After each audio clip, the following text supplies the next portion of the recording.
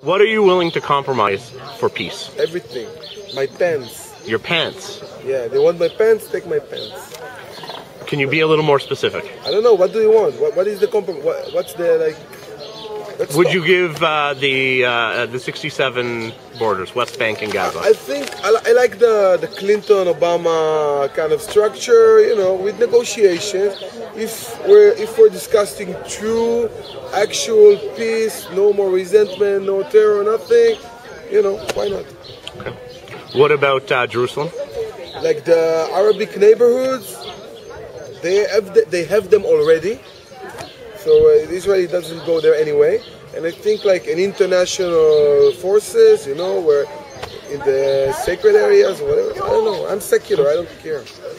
What about the right of return? Palestinians coming back to Jaffa. Palestine. They go back to Palestine.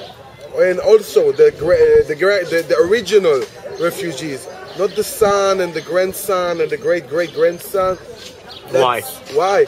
Demographic reason, I think, because you, if if we're going for like a two-state nation, right?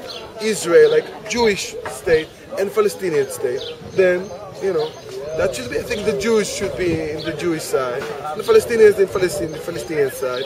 I don't think like in a second, like just when somebody uh, like um, signs an agreement that a an hostility that's been built for years and years and years can go away and suddenly we all live together like you know like the Smurfs in one big happy village. It's gonna take a lot of time. So uh, I think at the beginning separation is needed.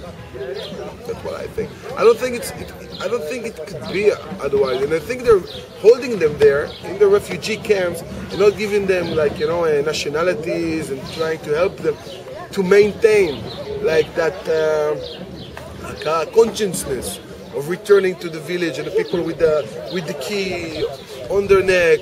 I think that's that's a way to, to maintain the conflict and not to solve it.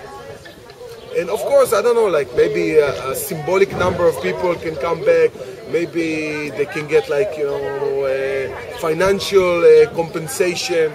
Stuff happens, you know, stuff like that happens all over the world. Happen, it's a tragedy, but I don't think that's a true solution that number of people coming back to Israel and now becoming an Israeli citizen, sing the anthem, I don't know, stand, live together.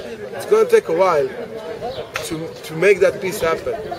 Maybe in a few years there will be no more boundaries and no and no uh, whatever borders borders and uh, everybody will uh, you know one big happy family because we are one big happy family originally but I don't think that can happen overnight